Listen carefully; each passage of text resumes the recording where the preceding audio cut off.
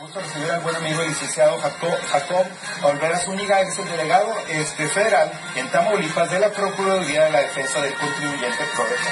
Jacob, bienvenido, buen día. Muchas gracias. Muy buen día. Mira, me da mucho gusto que estés con nosotros porque yo les comentaba al inicio del programa que lo que nos vas a platicar en, eh, en este momento es muy interesante para todos, todos, todos, todos los que somos, de alguna manera somos contribuyentes, de alguna manera pagamos impuestos y que de repente eh, pues no estamos muy de acuerdo con lo que sucede, si es que esto llegara a suceder.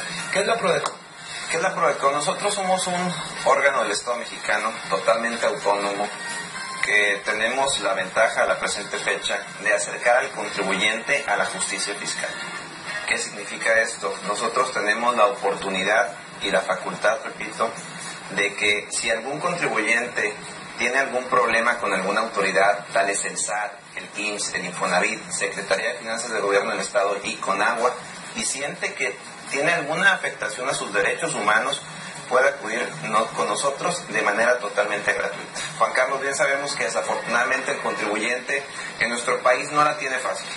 El pago de impuestos y contribuciones no es nada sencillo, nos duele mucho a los mexicanos y por eso es que nace Prodecon, por esta exigencia social ante un maltrato de las autoridades hacia los pagadores de impuestos. Fíjate, qué interesante, porque como tú dices, todos de alguna manera estamos involucrados en esto, pagamos impuestos, eh, estamos relacionados con esas instituciones también, ¿verdad? A la hora de, dar nuestras aportaciones. Si usted es un eh, eh, patrón o si usted es, empleado, todos de alguna manera tenemos que pagarlos y tenemos que, que sufrirlos. ¿A quiénes defienden? ¿A quién defiende la Prodecon? A personas físicas y personas morales, repito, que tienen actos de autoridad que consideran lesivos, SAT, IMSS, Infonavit, Secretaría de Finanzas del Gobierno del Estado y Conagua. Cuando alguna de estas autoridades, si gustas el SAT, va a tu negocio, te impone una sanción y tú no estás de acuerdo con ella, puedes acudir directamente con nosotros. Brindamos asesoría tanto contable como jurídica en la cual te podemos representar como abogado, te damos una asesoría, te brindamos una asistencia integral, la cual busca de principio a fin finalizar tu problema. Queremos que tus problemas se conviertan en los nuestros para auxiliarte de manera sencilla, eficaz y eficiente a darle fin a, a, a toda esta problemática. Jacob, ¿y cuánto nos cuesta este servicio? Afortunadamente esto es totalmente gratuito. Nuestra constitución por ahí del 17 apartado B señala que el Estado mexicano está obligado a crear entes defensores de derechos humanos. Prodecon así lo es. La Procuraduría de Defensa del Contribuyente es la defensora por excelencia de los pagadores de impuestos y a ustedes no les cuesta absolutamente nada. Eso está muy interesante, pero ¿qué, te parece si nos haces el favor, Jacob, de eh, platicarnos un ejemplo práctico para la gente que está en casa, un ejemplo sencillo? Aquí en Tamaulipas, Franja Norte, lo que se presenta es lo siguiente. Residente de zona fronteriza en la cual tiene su vehículo con placas fronterizas y decide obtener un permiso de internación temporal de su vehículo. Si quieres ir a visitar unos parientes en Tampico, en Victoria, Monterrey, Guadalajara, X lugar. Al obtener este permiso tiene la obligación también de cerrarlo. Cuando no se cierra este permiso, en un ejemplo, un Explorer 2004, la autoridad te puede imponer una sanción de hasta 80 mil pesos. 80 mil pesos es algo realmente desproporcional al valor comercial de la unidad aquí en zona fronteriza. Y además de esto, te obligan a que entregues dicha unidad. Son dos lesiones entonces. Uno, te quitan el vehículo y dos, te imponen una sanción.